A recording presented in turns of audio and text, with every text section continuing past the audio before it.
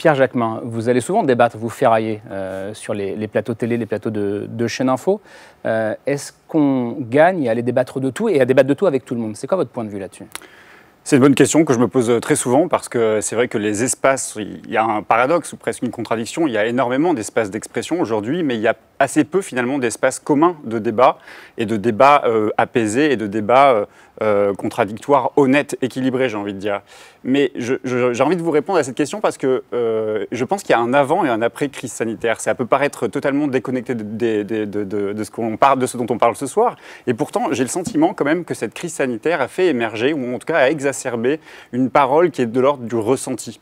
Et ce ressenti, il est aussi aujourd'hui vrai en milieu politique, dans le monde de la presse, dans le monde des débatteurs, des éditorialistes auxquels moi je participe et je contribue. Donc ça m'interroge et ça m'interpelle. Mmh. C'est la place que l'on fait aujourd'hui de la crédibilité de la parole publique euh, sur la question du ressenti. Le ressenti, c'est quoi? Euh, Géraldine vient de le dire, c'est euh, des propos qui consistent à dire qu'aujourd'hui on serait un État de blanc catholique alors qu'on est un État laïque et multiculturel.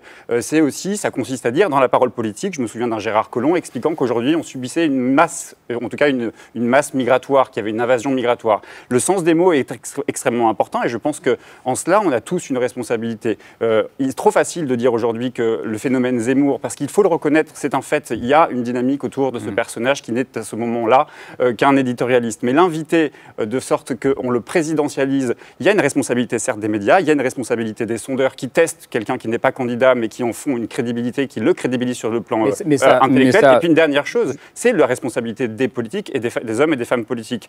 Et là, il y a évidemment la droite qui court après l'extrême droite, il y a le gouvernement qui mène des politiques qui sont aussi des politiques inspirées de l'extrême droite, il y a la responsabilité de la gauche aussi, qui quand elle va manifester euh, à l'appel des syndicats de policiers, euh, se retrouve en situation d'être à côté de M. Zemmour, à côté de M. Darmanin, ça participe d'une légitimation. Donc bien sûr, il y a les médias, mais je pense que d'abord tous euh, résistent, tous, tous ne sont pas soumis à cette zémourisation. Vous, le service public, je crois que vous résistez assez bien justement à cette forme de zémourisation, j'espère encore pour longtemps, qu'on n'est pas encore dans cette euh, berlusconisation dans le service public. Donc ça a un sens, le service public, je pense. Et que voilà, c'est tout ça que j'ai envie de dire, c'est qu'il y a, aujourd'hui des espaces d'expression, mais il y a pas, il a pas, il manque un espace commun de débat euh, posé, apaisé et honnête. Et je réagissais simplement au fait qu'il soit testé alors qu'il n'est pas candidat. Mm. C'est ce qui se passe aussi avec quelqu'un comme Nicolas Hulot, ce qui s'est passé en 2006, en 2016, et personne ne, criait à ce moment-là sur le fait qu'on teste Nicolas Hulot. Euh, juste, Jérôme Chapier, sur, sur cette question de débattre de tout avec tout le monde. Vous, est-ce que vous posez la question euh, J'imagine oui, en tant que journaliste au quotidien? On se pose la question parce que, euh, moi, je pense qu'on peut débattre de beaucoup de choses, mais la question est plus celle du cadre. Oui, mais pas n'importe comment. C'est-à-dire que le, vrai sujet depuis euh, une quinzaine d'années, moi je pense que ça remonte à, plus, bien avant la, crise sanitaire, ça remonte de toute façon aux réseaux sociaux et à l'émergence des, chaînes d'infos.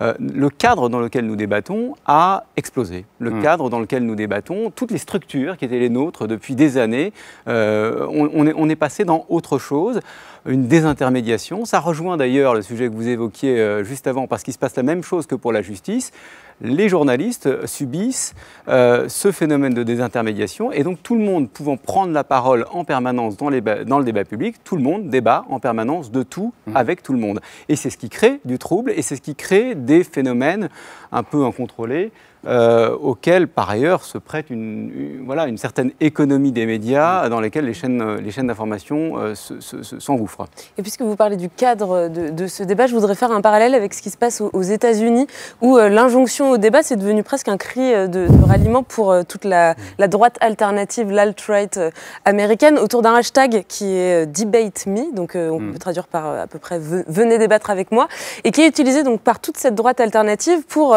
pour invectiver voire pour provoquer euh, les représentants de la gauche progressiste. Alors il y a un homme en particulier qui incarne ce hashtag Debate Me, c'est Ben Shapiro, euh, qui est donc un journaliste euh, très conservateur. En 2018, il est allé jusqu'à offrir 10 000 dollars à Alexandria Ocasio-Cortez, l'élu du Bronx, qui, hmm. qui, est un peu le, le, symbole de cette nouvelle gauche progressiste américaine, pour qu'elle débatte avec lui. Alors elle a refusé, mais ça lui a donné l'occasion de la taxer en gros de poule mouillée, qui n'est pas capable de défendre défendre ses idées dans un débat d'idées.